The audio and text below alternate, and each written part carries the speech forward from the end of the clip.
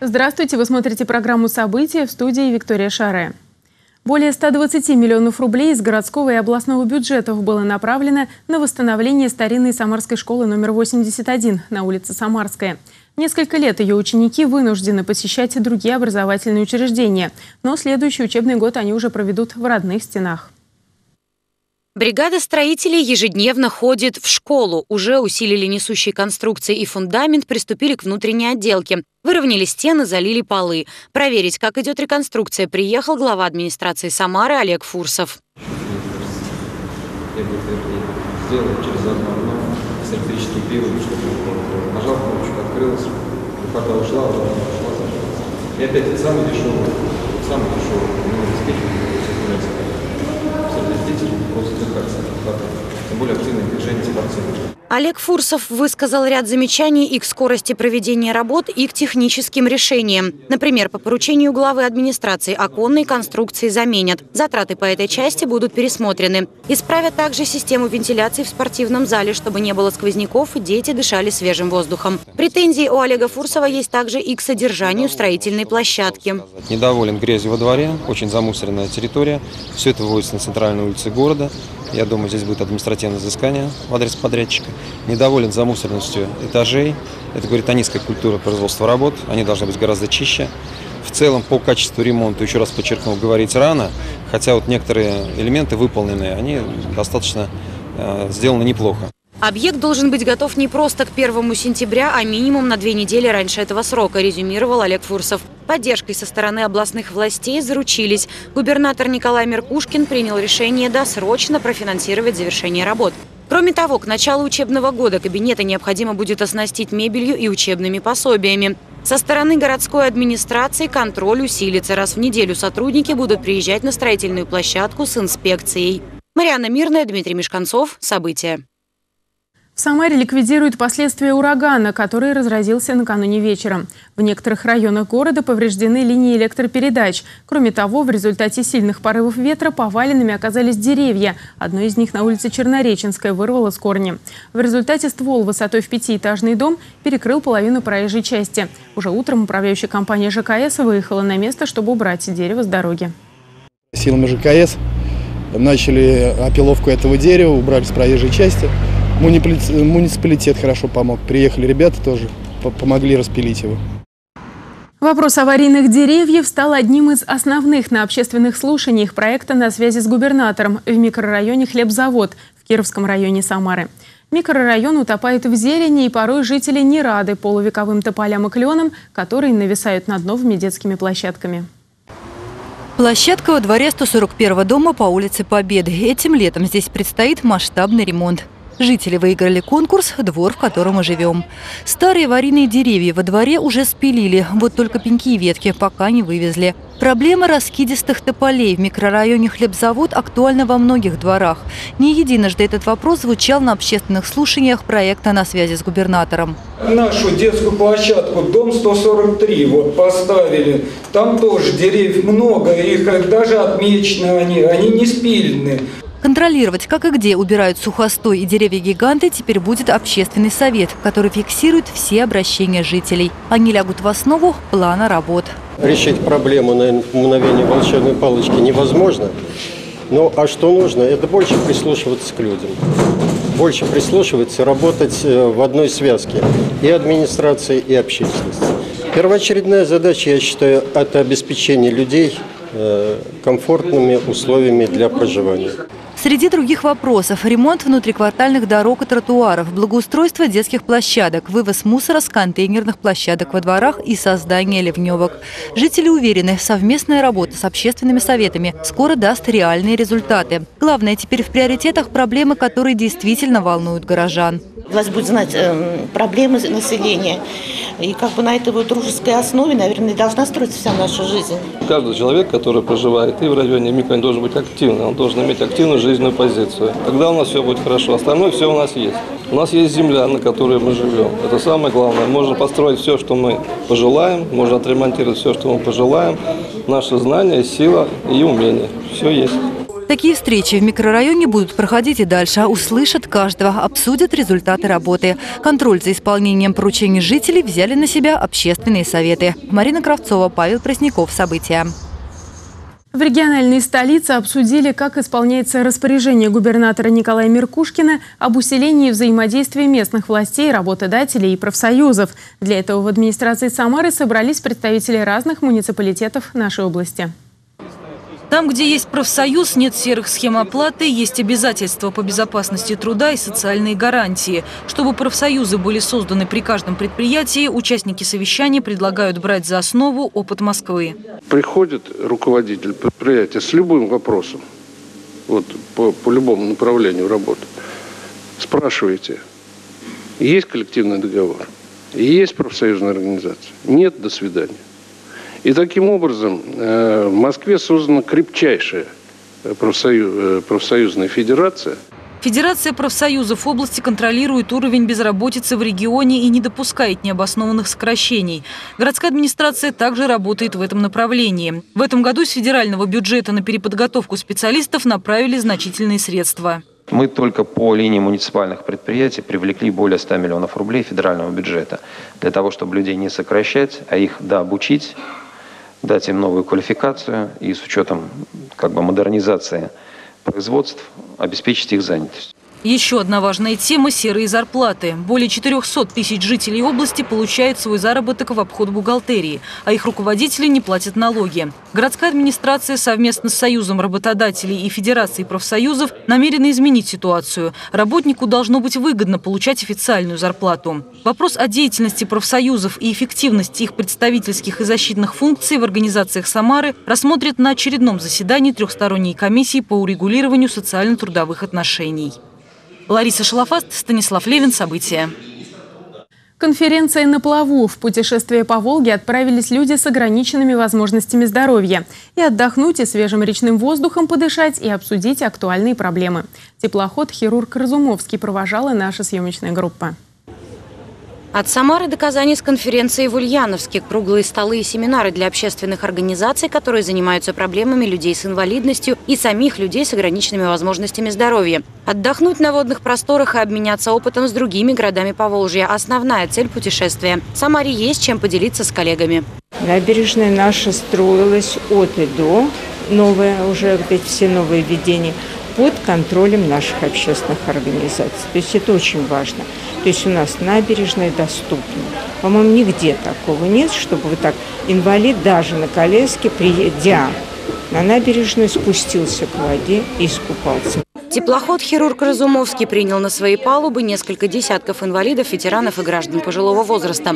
Поездка организована Департаментом соцподдержки и защиты населения. В Самаре действует программа по созданию безбарьерной среды для инвалидов и маломобильных граждан. Мы понимаем, что человек, который э, все-таки все равно с какими-то ограниченными возможностями в движении, он, э, начиная от выхода его из квартиры буквально, да, и до получения им всех необходимых, причем необходимых, мы говорим, услуг, здесь должно быть, конечно, доступно, потому что не у всех есть транспорт, то есть это получается услуга общественных транспортов прежде всего, но до остановки тоже нужно добраться. Путешествие по Волге продлится несколько дней. У участников выездной конференции будет достаточно времени, чтобы обсудить актуальные проблемы и попытаться найти пути их решения. Марьяна Мирная, Дмитрий Мешканцов. События. Международный день соседей отметили в Самаре. Накануне в одном из дворов в районе самолета местные жители, несмотря на ненастную погоду, собрались вместе и весело используя провели вечер. В перерывах между песнями и танцами успели получить советы социальных служб и представителей местного самоуправления. Сергей Кизоркин продолжит. Инженер-конструктор авиационного завода Екатерина Поликина последние четыре года руководит жизнью своей многоэтажки на Московском шоссе в районе самолета. Каждый закуток и каждую проблему, главное по дому, знает и сама, обходя свои владения, и от соседей. Именно соседская дружба – залог комфортной жизни их двора, уверена Екатерина Поликина. Вечерами у нас здесь теперь хорошо, у нас очень светлая площадка, освещение хорошее, здесь очень много с детьми гуляют, и сами по себе вот так вот молодежь сходится. Первый год мы поменяли канализацию в подвале, а вот за 4 года мы поставили пластиковые окна. Ну, по своей возможности технического ремонта. Международный день соседей собрал во дворе почти всех жителей окрестных домов. Кроме праздничного концерта, на интерактивной площадке были представлены разные социально значимые учреждения микрорайона, начиная от общественного совета Воронежские озера до поликлиник, библиотек и центра «Семья». Только сообща реально решить многие злободневные проблемы, начиная от коммуналки, заканчивая социальной помощью. Мне понятны эти проблемы, я их знаю, я ими живу уже на протяжении многих лет, поэтому мне их ну, решить. Для меня их, э, может быть, не всегда как бы вот э, легко и просто, но тем не менее я как бы вот этим живу, погружена в это, и мне, э, конечно, гораздо проще, нежели, допустим, другому человеку. Когда люди будут общены, они разобщены. Тогда можно будет решать многие вопросы. Это контроль за исполнительной властью легко и так далее. Да? Люди будут понимать друг друга. И вот эта работа сообща, она может абсолютно хорошо выстроена. Да? Вся, вся система контроля за исполнительной властью. Я думаю, это поможет и жителям, и исполнительной власти вот в, в такой гармонии работать с населением. За последние несколько лет двор у самолета гармонично преобразился. Появилась и спортивная, и детская площадки, и скамейки для пенсионеров. Сергей Кизоркин, Максим Гусев. События. Одаренные дети из стран СНГ и Балтии встретились в Самарской области на Пятой музыкальной академии под руководством народного артиста России Юрия Башмета. Лучшие юные скрипачи, пианисты, флейтисты получат уникальную возможность пообщаться с ведущими музыкантами страны и перенять бесценный опыт.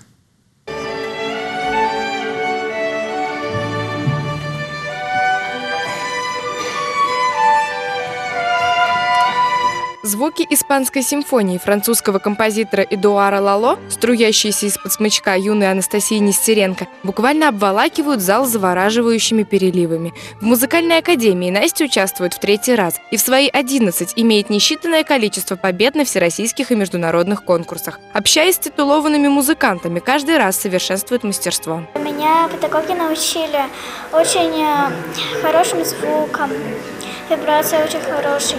Помогли мне очень сильно. Все, от мяуканья кошки до человеческой речи можно передать с помощью кларнета, уверена София Сафронова. В этом году девушка с отличием закончила музыкальную школу. Теперь мечтает выступать на большой сцене. Говорит, на музыкальной академии учат в совершенстве владеть инструментом. Если э, какое-то очень сложное место в произведении, то а, и нету места, чтобы подышать, чтобы не прерывать мелодию, брать дыхание носом, пока ртом выдуваешь.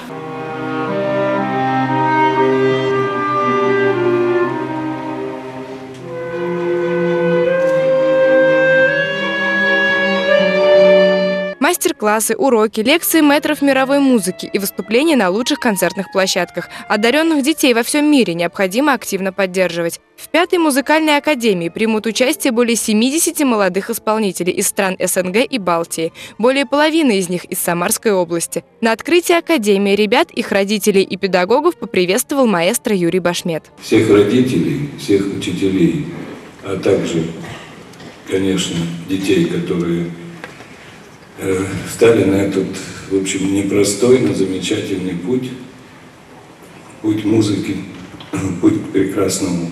Я хочу всех поздравить с открытием Академии.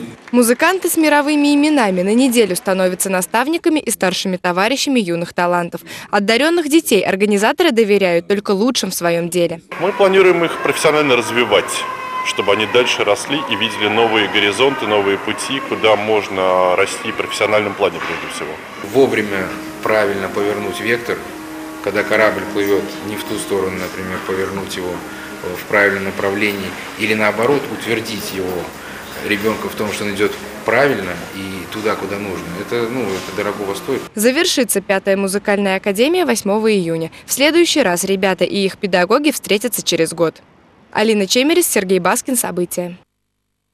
Для них лучшая музыка, овации спортивных фанатов. В Самаре открылся ежегодный турнир «Лето с футбольным мячом». Уже в пятый раз дворовые команды Самарской области будут бороться за Кубок победителя. В промышленном районе прошли первые игры соревнований.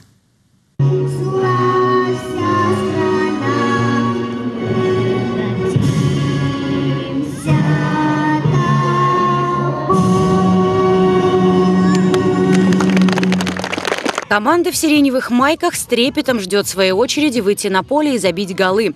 Победить в районном турнире почетно и престижно. Еще престижнее, по мнению маленьких игроков, победа нашей страны на чемпионате мира по футболу 2018 года.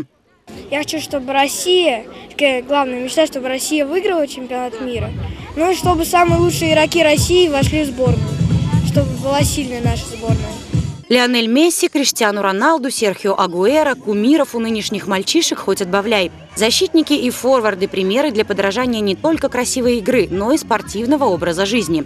Тренер-общественник Владимир Замятин согласился бесплатно заниматься с ребятами в свободное от работы время. Теперь жизни не представляет без команды «Победа-3». Это эмоции, во-первых, положительные эмоции. Это, во-вторых, наверное, здоровый образ жизни вот, э, чтобы они были правильными, послушными, чтобы они увлекались именно вот э, футболом, а не какими-то вредными привычками. Турнир «Лето с футбольным мячом» проходит в Самаре уже в пятый раз и с каждым годом набирает обороты. Только в промышленном районе Самары заявки на участие подали больше 70 дворовых команд. Среди игроков как мальчики, так и девочки. В Самаре футбол больше, чем футбол, и дети это знают, помнят, это такой футбол сегодня, он как бы э, развивается очень быстро, и дети, многие дети хотят э, быть лидерами э, как бы среди ребят и хорошо играть. Соревнования среди дворовых команд «Лето с футбольным мячом» пройдут в несколько этапов. Победители районного выйдут на город. Лучшие поборются за кубок победителя Самарской области. Марианна Мирная, Максим Гусев. События. День русского языка отметят в Самаре 5 июня. Всех желающих ждут с 11 утра до 3 часов дня в сквере Пушкина. Там будут работать конкурсные игровые площадки для детей, выставка продажи изделий народно-прикладного творчества, свободный микрофон для всех желающих прочитать отрывки из произведений Пушкина и книг о нем. Центробанк объявил о временной приостановке валютных аукционов на год. Новая мера стала ответом регулятора на чрезмерное укрепление российской валюты, считают аналитики. Смотрите новости экономики сразу после нашего выпуска. Обратите внимание, телеканал «Самарагис» расширяет зону своего вещания. Настройте «Самарагис» в кабельной и цифровой сети «Волга Газ Телеком». Смотрите нас онлайн на сайте samara.tv и через специальные бесплатные приложения для телефонов и планшетов на базе Android и iOS. Полный архив передач на www.samaragis.ru. Следуйте за нами в Твиттер, читайте нас в социальных сетях, ВКонтакте и Фейсбук. Всего вам доброго и до встречи. Здравствуйте. Финансовые новости на телеканале «Самара ГИС». Центробанк объявил о временной приостановке валютных аукционов на год. Новая мера стала ответом регулятора на чрезмерное укрепление российской валюты, полагают аналитики. Они также предрекают возвращение курса доллара на уровень 57-58 рублей в ближайшие месяцы. Регулятор не исключил, что аукционы возобновятся, о чем будет объявлено в установленном порядке. С помощью этого механизма с декабря российские банки получили 26 миллиардов долларов кредитных средств. Кроме того, благодаря аукционам Центробанку удалось скорректировать рекордный рост доллара относительно рубля в декабре 2014 года. Сейчас регулятор решает прямо противоположные задачи, ослабляя российскую валюту. Спасибо тебе, Центробанк. Граждане России так тебе благодарны за свое обнищание. В апреле ВВП России сократился на 4,2% по сравнению с аналогичным месяцем 2014 года. Соответствующая информация содержится в докладе Минэкономразвития о текущей ситуации в экономике. За первые четыре месяца года ВВП сократился на 2,4%. В ведомстве поясняют, что это связано с падением добычи полезных ископаемых и производства на обрабатывающих предприятиях, а также с негативными явлениями в торговле и строительстве, снижением реальных доходов населения и сокращением экспорта нефти и газа. В министерстве также сообщили, что инфляция в России останется высокой – 7,9% с начала года по сравнению с 3,2% за аналогичный период 2014 года. Ну, за снижение реальных доходов населения мы уже знаем, кого благодарить.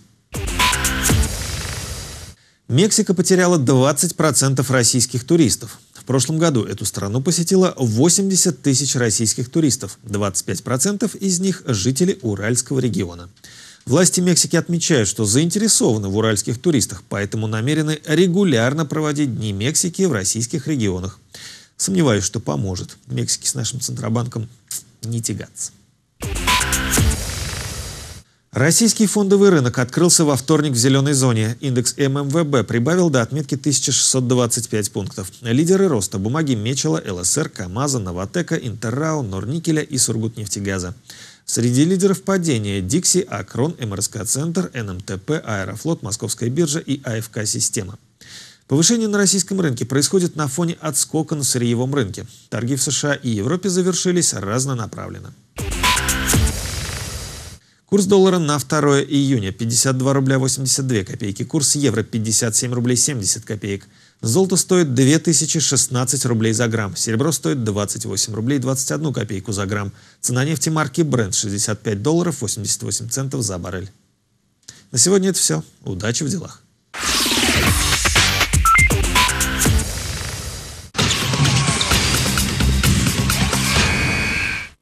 Серебряные хоккеисты ЦСКА ВВС могут сыграть в высшей лиге. Тольяттинская гимнастка завоевала две медали на итальянском турнире. Дарья Касаткина проиграла московские теннисные соревнования. Тольяттинка Дарья Касаткина в паре с украинкой Ольгой Янчук потерпела поражение в финале турнира Moscow Open. Тандем проиграл 25 тысяч долларов дуэту Каролин Дэниелс Германия и Алине Сотниковой Белоруссия по партиям со счетом 6-2, 7-6. В одиночном разряде Дарья Касаткина завершила выступление на этапе четвертьфинала, проиграв украинке Валентине Ивахненко. Анастасия Дмитриева завоевала в Италии две медали на турнире по спортивной гимнастике. Золото в командном зачете и бронзу в личном многоборье. Тольяттинская спортсменка – резерв национальной сборной. Кандидат в мастера спорта Дмитриева – прошлогодняя победительница первенства России в многоборье и серебряный призер в вольных упражнениях. Хоккейный клуб ЦСКА ВВС в новом сезоне сыграет в высшей хоккейной лиге. Такая возможность может появиться у серебряного призера Российской хоккейной лиги. Правда, согласно регламенту ВХЛ, клуб обязан предоставить гарантии того, что его финансирование составляет больше 100 миллионов рублей.